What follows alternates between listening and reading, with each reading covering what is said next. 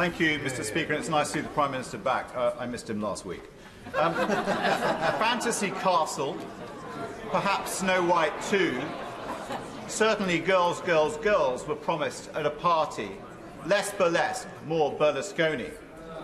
According to a former minister, it seems the Prime Minister has been entertained at these bunga bunga parties hosted by his close friend, a, Rus- a Russian oligarch.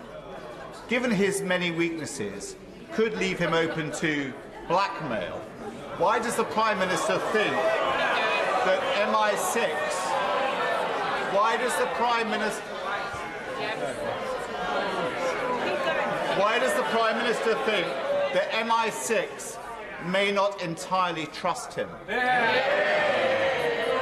Well, uh, Mr. Speaker, I'm afraid I, I, I missed. I, I, last week I wasn't here to benefit from one of his elaborately confected uh, questions. Uh, I, admire, I admire his style, uh, Mr. Speaker. I, I'm afraid I simply failed to detect any, any crouton of substance in the, minis- the, the minestrone of nonsense uh, that he just spoke